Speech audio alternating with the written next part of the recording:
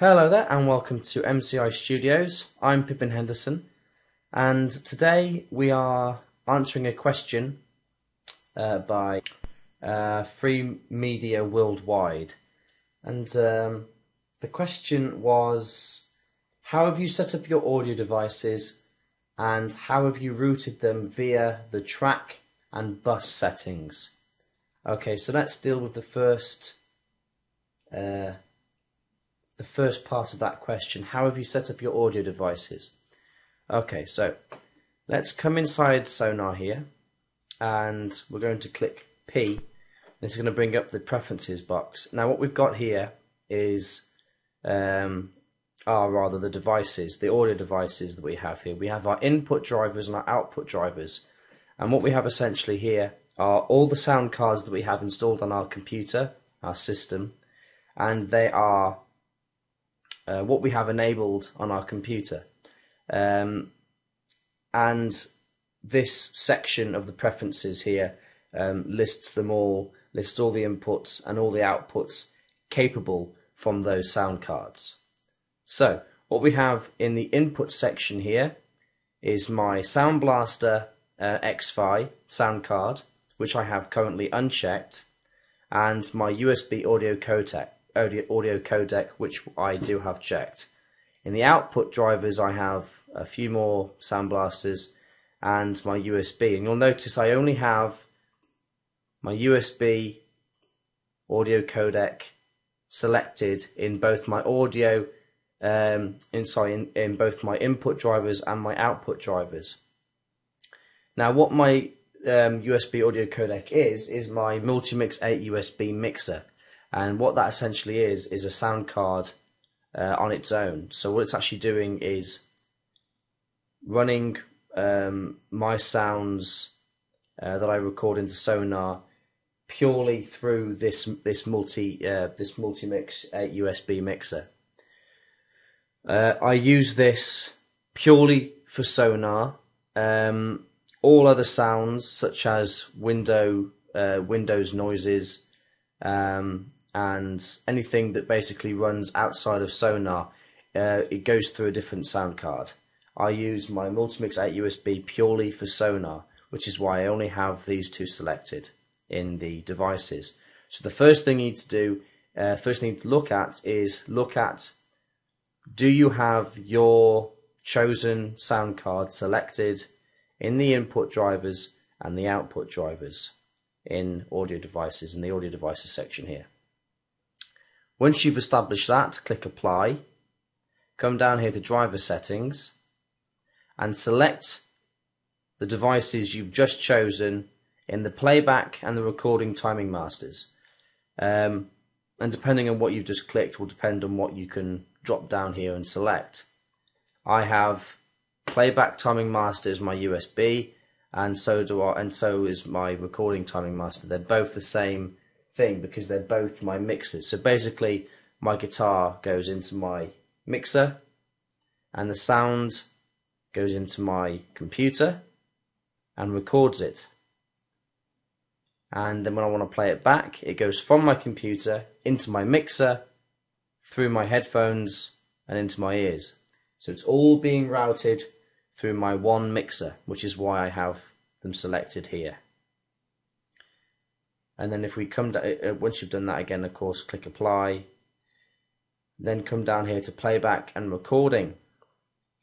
Now driver mode. This is touching on a subject that he that he or she mentions um, in their comment about ASIO drivers.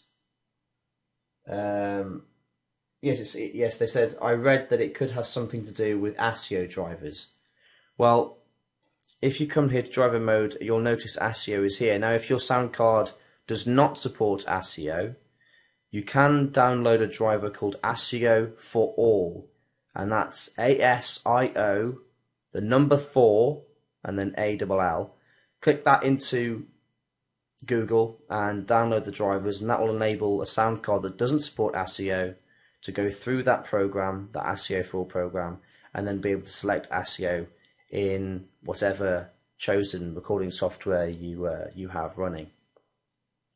And what ASIO is is a very low latency recording uh, application. It basically allows you to record uh, audio in very low latency.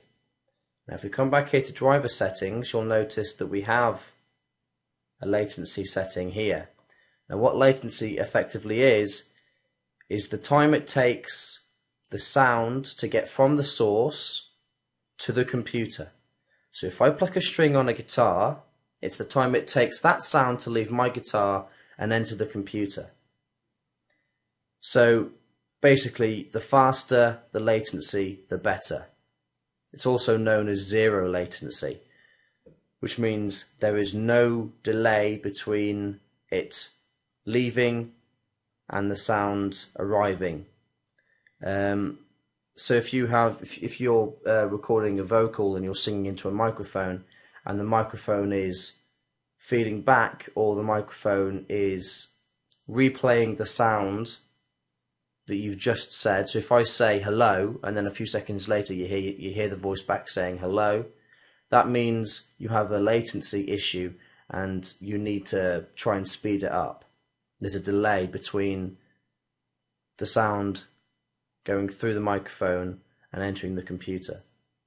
So the faster the latency, the better. And ASIO is a good driver to use for low latency. What I use is WDM. Um, it's also what Sonar recommends. If you look in their help section, it, they recommend WDM. If you can use it, use it.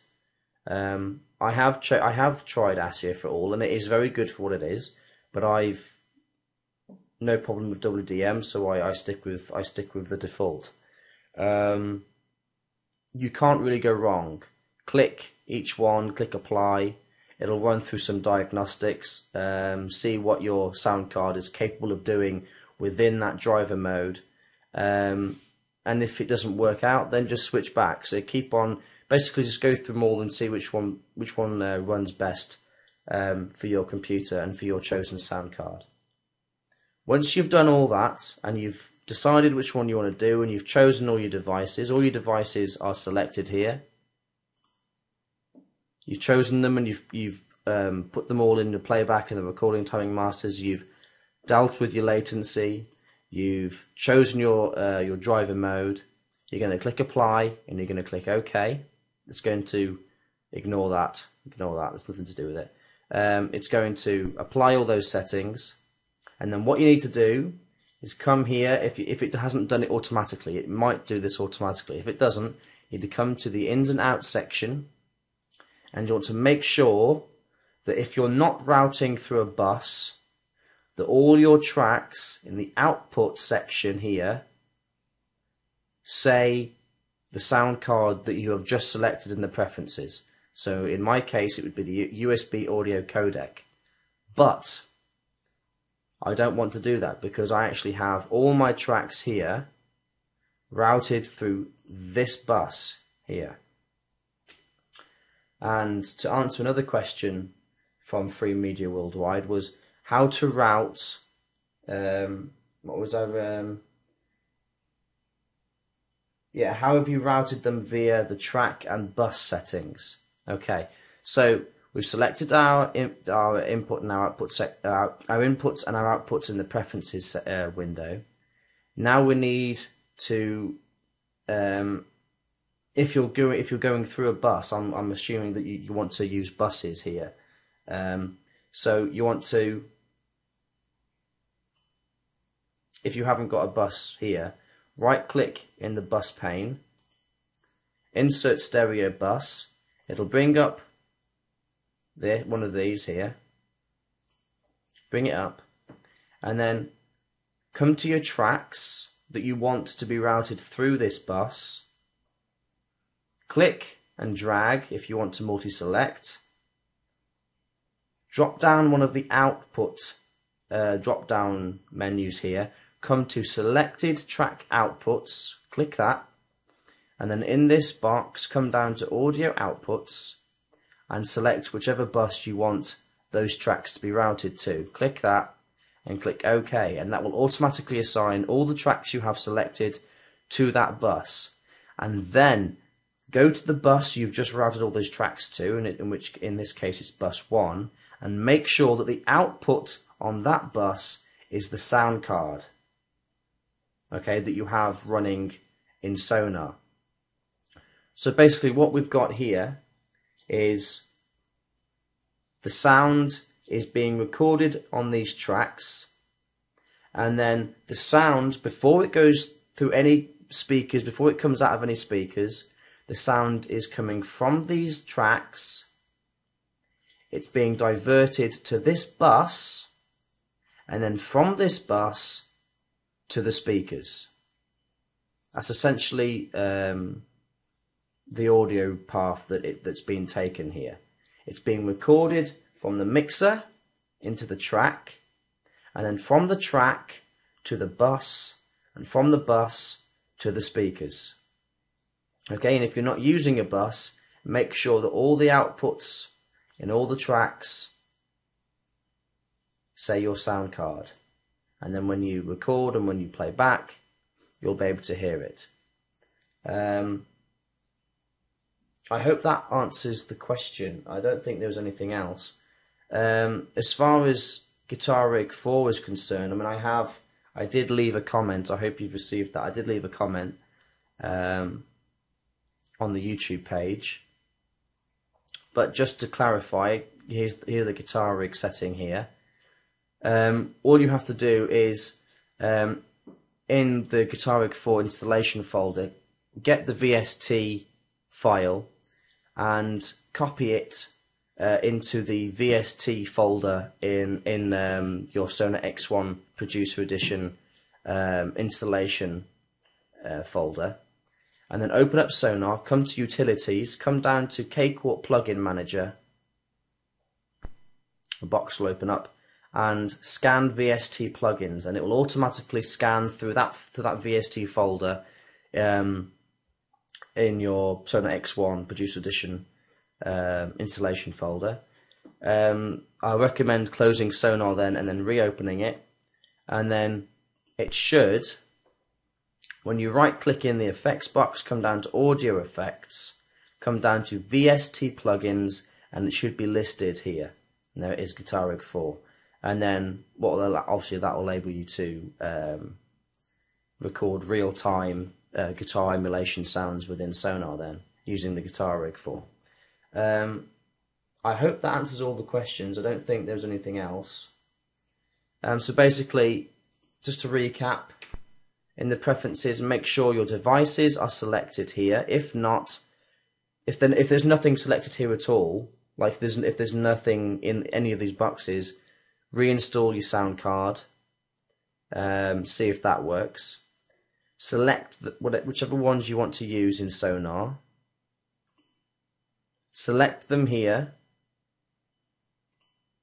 choose which driver mode you want to use, click OK, make sure that your sound card is selected in the out in each outputs of each track or create a bus make sure the output of that bus um, says your sound card and then route all your tracks that you want to go through that bus. Um, and and uh, obviously uh, multi-select here and do it through the selected track output um, way here or through the drop down uh, list here and select bus one. And that should that, that should do it uh, I hope that answers all your questions.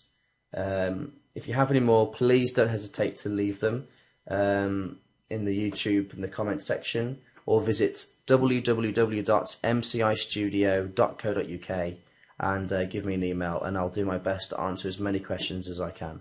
Um, I'll have the next tutorial, section 3 up, or part 3 up rather, uh, very soon, so stay tuned. Um, so until then, have fun and uh, take it easy, and I'll see you next time.